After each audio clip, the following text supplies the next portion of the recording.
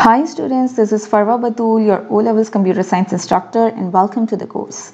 Okay, in this video we are going to talk about the content overview and the assessment overview of O-Level Computer Science. Why? Because there are some changes that are done by Cambridge International.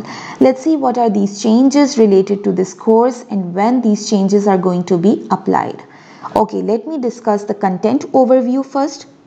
In the content overview of O-Level Computer Science, we are going to see all the topics that we will study in this course. So, first of all, this particular topic is, our course is divided into two sections. There is section 1 and there is another section that is section 2. Let me tell you the names of these sections. Section number 1 is computer systems. Earlier it was theory of computer science but now it is computer systems. The name has been changed. Uh, section number 2 is named as algorithms. It is more practical.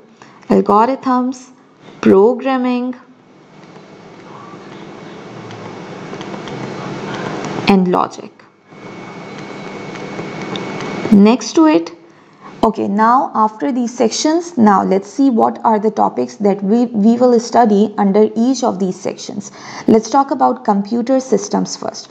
Inside computer system, we are going to study six topics. The very first topic is data repre representation. Okay, so inside data representation, we will study number systems, text, text, sound and images, data storage and file compression. The second topic we are going to study is data transmission. In the topic of data transmission, we will study types and methods of data transmission, methods of error detection, symmetric and asymmetric encryption. The third topic we will study is hardware and inside the topic of hardware we will have computer architecture, input and output devices, data storage, network hardware. Then the fourth topic that is under study is software. Okay. In this topic you are going to study types of software and interrupts, types of programming languages, translators and integrated development environments, IDEs, now let's talk about the fifth topic. In the fifth, fifth one, it is the internet and its uses. Okay. In this topic, we are going to study the internet and the World Wide Web, digital currency, cyber security. Okay, now the sixth one. The name of the sixth topic is automated and emerging technologies. Automated and this is a new topic that is introduced by the Cambridge International. Automated and emerging technologies. So under this topic, you are going to study automated systems, robotics and artificial intelligence. Yes, this is going to be very interesting. Okay, next we have section number two. Let's talk about the topics of section number two that is algorithms, programming and logic. Okay, the very first thing here. Here you are going to have four topics. The seventh topic after the sixth topic automated and emerging technologies the seventh topic in the in section number 2 is algorithm design and problem solving. Okay so here algorithm design and problem solving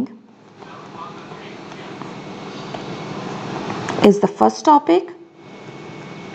Okay so inside this topic you are going to study the program development life cycle computer systems subsystems and decompositions explaining the purpose of an algorithm standard methods of solution validation and verification test data trace tables to document dry runs of algorithms, identifying errors in algorithms, and writing and amending algorithms.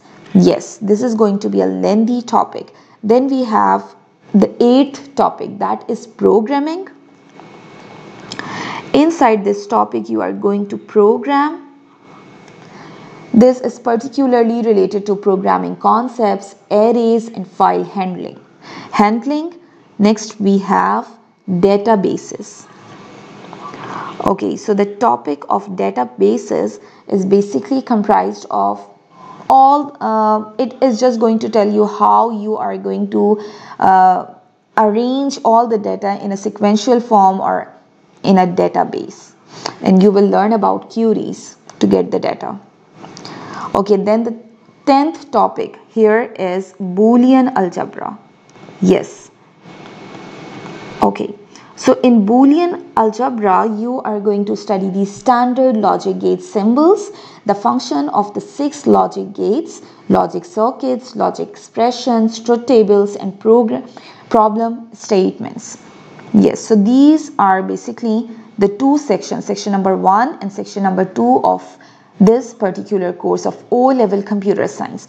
This is all about content overview. Now let's move towards the second part of this video. Okay, now let me discuss the assessment overview with you.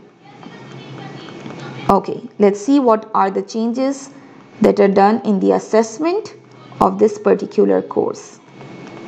Okay, so in assessment overview, first of all, as I have already told that we have two sections, section 1 and section number 2. So keep in mind that there will be two papers of this section.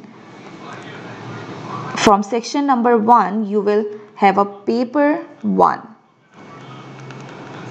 Paper 1 will be made from section number 1 whereas paper 2 will be made from section number 2 or the contents of section number 2.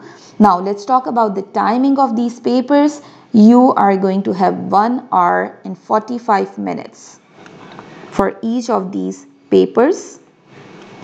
Here again you will get 1 hour and 45 minutes.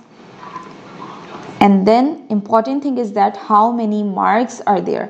So this paper 1 will be of 75 marks now. Yes, it is no more 50 marks but now the paper marks are increased each of these papers are going to be of 75 marks. This is very important for the students who are going to give their examinations in the year of 2023 and onwards.